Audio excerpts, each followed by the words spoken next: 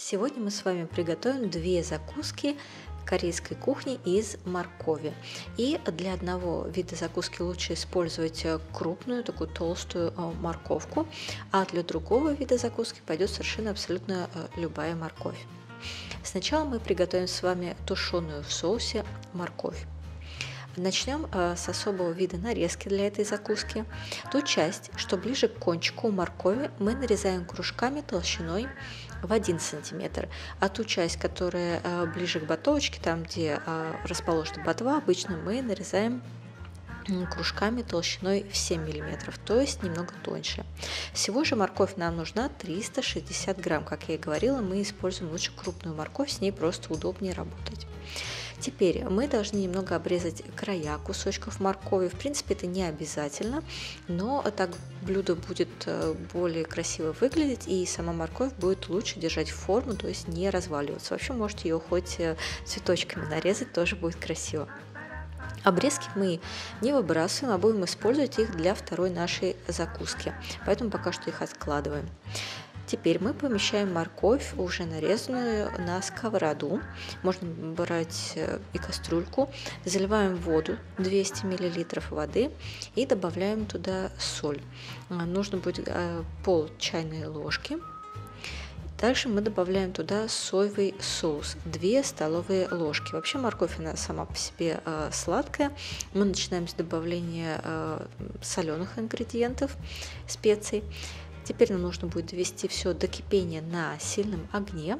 И когда все закипит, мы накрываем крышкой и далее готовим на среднем огне 5 минут. После этого, по истечении 5 минут, мы снимаем крышку и делаем на время огонь тихим. В это время мы добавляем следующие специи, а именно устричный соус, пол столовой ложки, он тоже даст соленость, и кетчуп, 1 столовая ложка, обычный томатный кетчуп, он добавляется по желанию, этот ингредиент можно и пропустить. Теперь нам нужно будет э, все хорошо помешать, и после этого добавить еще а, сироп Сироп может быть совершенно абсолютно любой. У меня кукурузный, э, мульет 2 столовые ложки.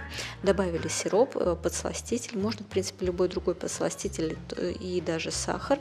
Все перемешали и опять накрываем крышкой. Далее готовим 5 минут опять на среднем огне.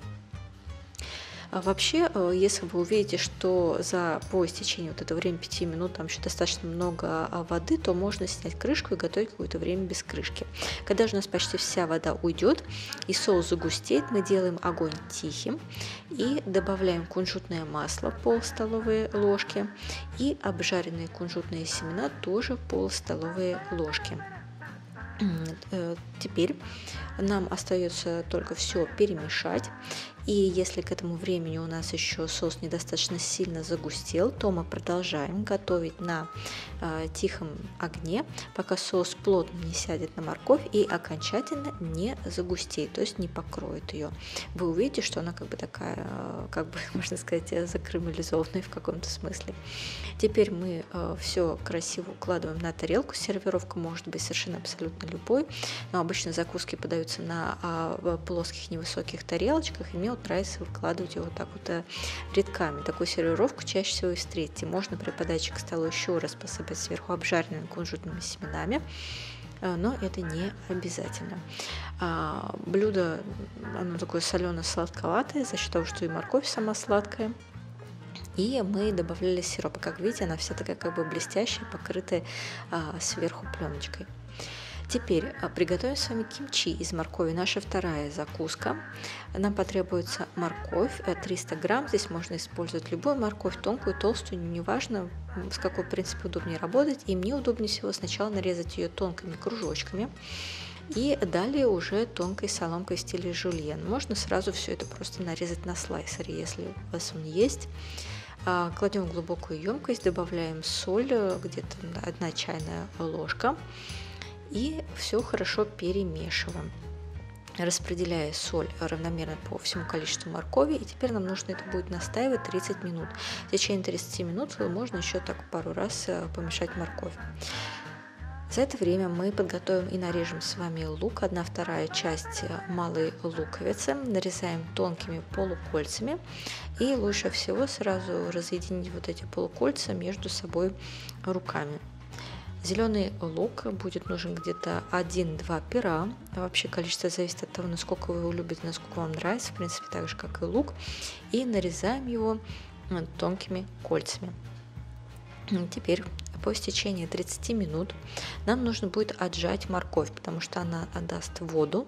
Э, хорошо ее отжимаем, укладываем сразу в какую-нибудь глубокую емкость, удобную для перемешивания. А, и у меня лук был ну, очень острый, поэтому я на 10 минут положила его в воду. Его я тоже слегка отжимаю, но не сильно, потому что он э, как бы такой еще плотный и легко ломается.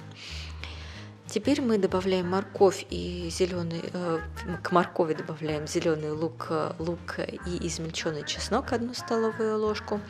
А сначала хорошо перемешиваем между собой эти ингредиенты. И теперь остается только добавить специи. А именно мы добавляем сахар или любой другой подсластитель по вашему вкусу и выбору. Одну столовую ложку. Сюда, кстати, хорошо подойдет и экстракт сливы в данном случае. Также добавляем красный молотый перец э, чили порошок, одну столовую ложку, ну вообще по вкусу, все специи дело вкус, потом попробуйте, посмотрите, как вам больше нравится. А рыбный соус добавляем одну с половиной столовой ложки или, например, ферментированные соленые креветки соуджот можно заменить на них на одну столовую ложку. Добавляем уксус любой 4 или 6 процента, 1 столовая ложка и все хорошо перемешиваем. И, собственно говоря, наше нехитрое а, блюдо готово. Нам остается только его засервировать. А, кладем на сервировочную тарелку и а, посыпаем сверху обжаренными кунжутными семенами, но это по желанию. Вообще это блюдо ну, относится к современной корейской кухне, так же как и первая закуска, которую мы готовили. Вот это вот кимчи, оно не предназначено для долгого хранения. А максимум вы можете продержать его в контейнере в холодильнике одну неделю, поэтому готовить его в больших количествах не имеет в принципе смысла. Надеюсь, вам было интересно. Лайкайте, подписывайтесь. Здесь придем способ приготовления. Желаю вам приятного аппетита!